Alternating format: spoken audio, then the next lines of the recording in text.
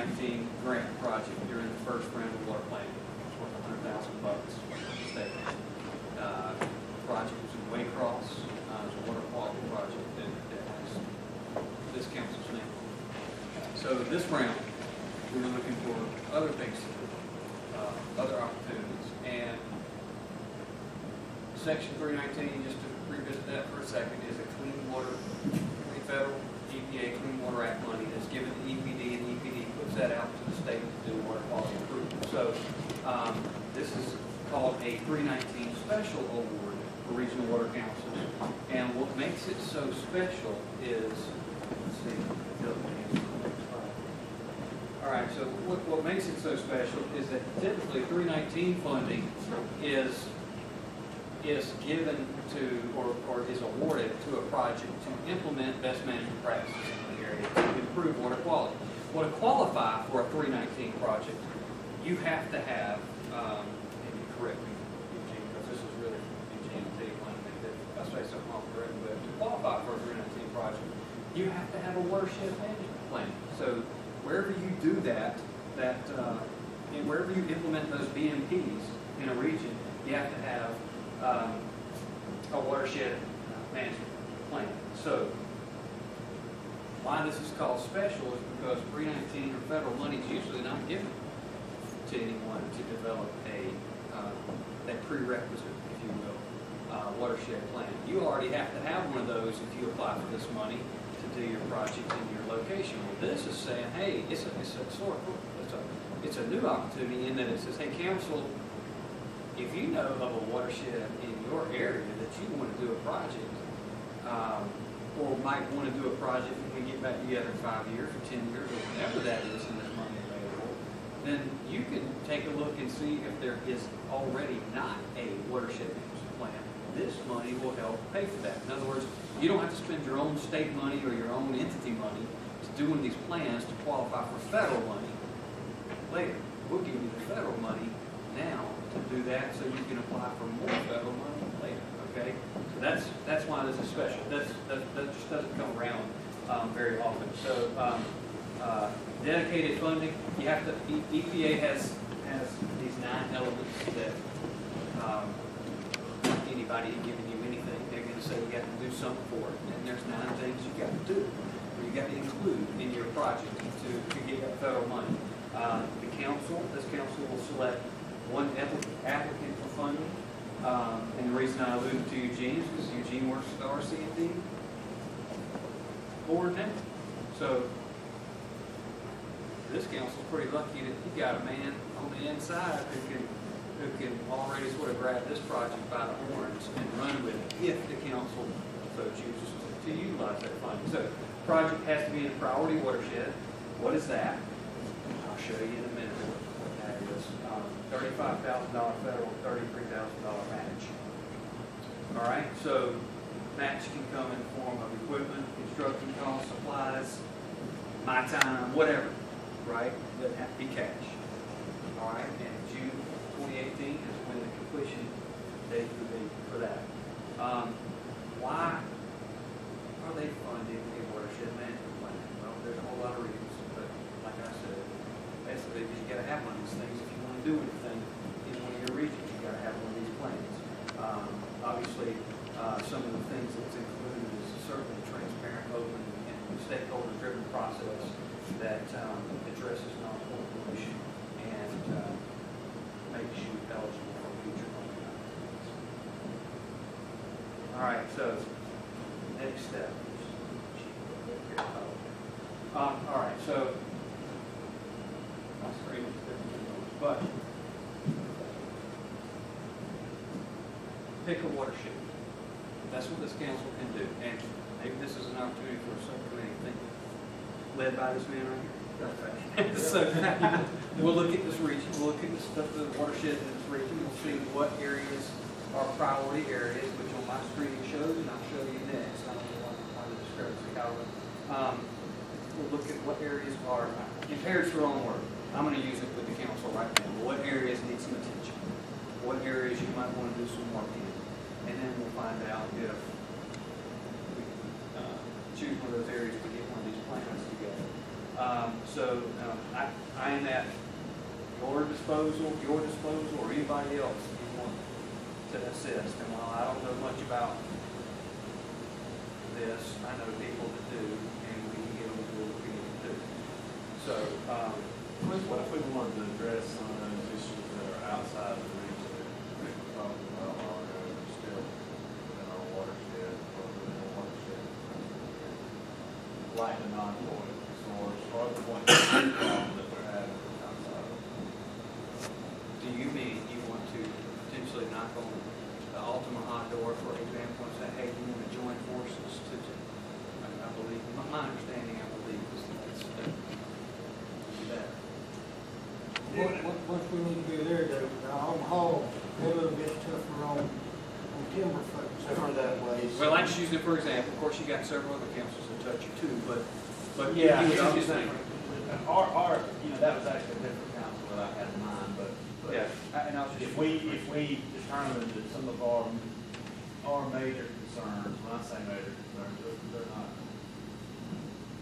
they're, they're concerns that pop up on a regular basis, they're coming from another region, there's really only one spot. Most of our, we're, we're a very unique district, because most of our waters originate in our council region, and all but one pretty much terminates from being in the state in our region. Uh, but there is one place that we are getting some experiments that is another county. So we made a decision, hey, we'd like to at least have to start a watershed plan for that, to try to address that in the future. And I was just wondering what the atmosphere would be for that. Yeah, I believe that'd be, that'd be fine, that's just fine. And that's not, Oh, all right. This is Moultrie, that's where I'm from, It means nothing in this presentation. It's a great place.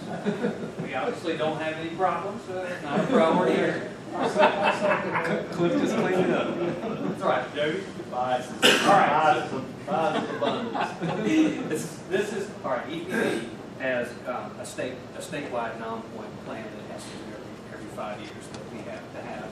EPA approved so that they can continue to pat us on the back and say, we're doing a good job, here's your money. Continue doing a good job. Part of the requirements that EPD had to do, um, this recent update was to better tell EPA why we do what we do in terms of water quality and how we choose to do it. Um, so, one of the things that, that, that, that EPD was encouraged to do by EPA was to develop a priority watershed tool. I will not attempt to get into all of the, uh, things that go into, attributes that go into defining these areas here, but basically, there's a need attention with regard to water quality, and EPD's got a pretty, pretty, pretty darn good tool to help find out where those areas in the state are.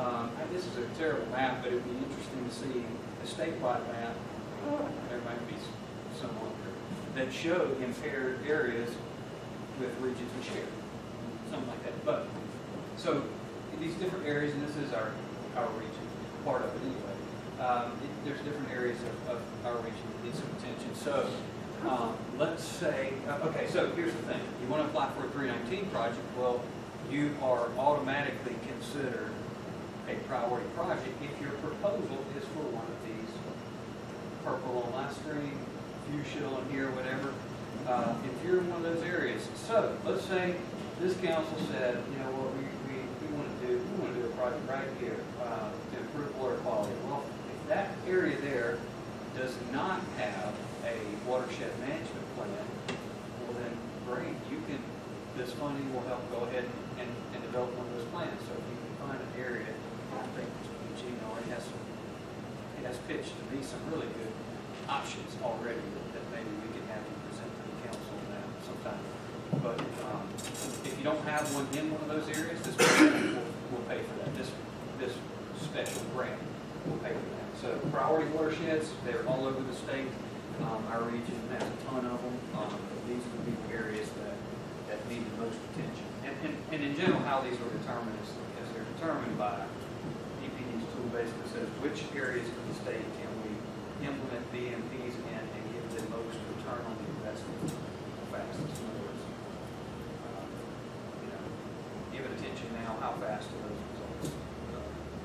show in these areas that, that, uh, we have. But do they take into account, um, any, the size, scope of those? Because some of those areas are pretty, pretty large. Can, can, would you answer that? Because, yes, but that's, isn't that up to you, the the applicant? Okay. It has to be, uh, which you, uh, What's that, priority use? which you see. HUC. Oh, what HUC, you know what a USGS HUC designation is? So, All that blue, some of them eight, some of them ten. the smaller the number, a HUC eight is much bigger than a HUC twelve, right? Know what I mean? I keep this back It's like age. time, I've only been doing this thirteen years. Uh, s- Smaller the HUC, eight designation, the larger the geography. Um, so, so you can propose a project at whatever HUC level you want, whatever you think you can handle, is that right? Okay. Um, but typically. Oh, I see. And there isn't a lot of money in the big scheme of things. So Right. You could have a very large project. No, does that look like enough money to do some of the things you wanna do? That you have thrown at me? I know so. Well, this is a Well, plan. the plans, This is a plan. for the plans it would be, but Okay. Because I think some of the things. is that money just for the plan? Yes. Or if you already have a plan, can you do a project? All that big is. Yeah, if, if you can, a very tiny project, but if those funds. But, um, Nonetheless, project. probably get more ROI from doing a plan. Well, yeah. But again, that's the council's choice. Um, Uh, so what's in these watershed management plans? The stream selection, which defines the size, the footprint, or what the scope of, the watershed effort that you plan to work in. Um, EPA's rural farm partnerships. Um, so stakeholders are, are a necessity now for those, those plan developments. Uh, I don't have any information on how those stakeholders are developed, maybe, maybe, I, I think this constitutes a stakeholder requirement for plan development here. Um, uh, source assessment, explains what you're gonna do in the, in the area, and how you're, you're gonna, um, detect and determine the impairments in that area. Um, and describing what the current status of that area, stream segment is in terms of quality. All right, so, um, did you- did I mention that there was nine, no, did I mention that at the beginning of this, what these are? These requirements by EPA, which is water development. Um, this is the five or nine, so, um, working with the public and recommending which practices are appropriate, um, monitoring that location, um, and then subsequently implementing, evaluating the work that's done there. and revising it. So, that's what's in the watershed management plan. You have to meet all those nine requirements in that plan in order to apply for three nineteen funding to implement the BMPs that you come up with in those areas. So, um, that, let me on. All right. Figured that out. So, not bad, thank you, Jeff. See you later in the morning, but, uh, so that's it. Total of, I think, seventy, seventy-five thousand dollars. Thirty-three, thirty-three. Thirty-three, thirty, I think it's thirty-five. It's thirty-five and thirty-three. Thirty-five and thirty-three, and you add those together, you get what this project's worth. And, um, and the reason I mentioned it to Eugene is is that, uh, Eugene's really been good, uh, to this region in the projects that he's eyeballed and pitching, and, um, Angela Bray, you mentioned our subcommittee meeting last time, she now works for the city of Valdosta, Regional Commission. She was a real big part of that first project and a real big part of the eyes in the field that tell you where something needs attention. And, you know, since, since then, I think, I think Eugene's been working with her and, and has sort of taken the time from her and all those. Now, now Eugene's got a good idea what's going on. He mentioned a couple things to me, so, you know, I, I would, I would, uh, recommend Eugene certainly be a part of, you know, spearhead that effort. Hey, uh, are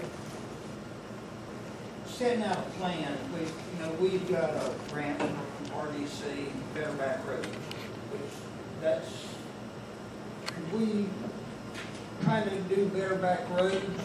Can we set that in the bid, uh, BMP's, uh, protecting rivers and water flow, or try to get a plan up for that? If, if, if, if the area that you wanna do those BMPs doesn't have one of these watershed management funding can go towards that. That will allow us to apply for projects that we want to talk about in those areas as well. You, so the question is, do you have a plan? I can answer that. We, we're getting all our plans, and I'm not sure if we've got a worksheet plan yet. Um, I know we're, we're getting a lot of plans, but we are trying to correct a lot of problems on Satilla there, so that's why I wanted to ask, if we could apply for that, that in, so we can apply for more grant money later on. Yeah, That's what I was. I mean, we tried to do a beaver We Yeah. tried to do a beaver three nineteen Brandon County, but we couldn't get it through the, we couldn't get it passed. Well, some, uh, it's come out, actually, I think EP, EPA considers Beaver one of their partners. See, that was the problem, is beavers cause these sediment and sediment, they build these dams and they hmm. cause the, the roads to wash out, and then here EPA didn't wanna help us fund something that they like to look at swim through. Yeah, I don't know. Ask- Did you know. that beaver obtain a four oh four permit before we put that dam in there? we need to be? Well, Well, that's the it's been thing, fine. maybe we can, we can prosecute them and let the EPA go after them for building that dam. Yeah, however, we did find out a way to rebuild the road, you know, and EPA money helped Yeah. fund uh, rebuilding the, the road, so, so, you know, they, they, they did come, come through it, and, but they don't want, our proposal was to eradicate the critter. Yeah. They didn't like that. No, and, and, and I think that when we use the word eradicate, but what, you know, you'll never eradicate. Yeah, we would be- All we're that's gonna- wishful thinking. Yeah, we're doing that as wishful thinking, and I think, oh, we don't wanna eradicate them, we just wanna get them under control. Yeah, just control, them. we just want to control the beavers. Put some harness on them. Yeah, show them where we want to dam. Absolutely, build it over here, not here. Yeah. All right, some in migration and some out migration. If any, if any of you guys have any thoughts on that,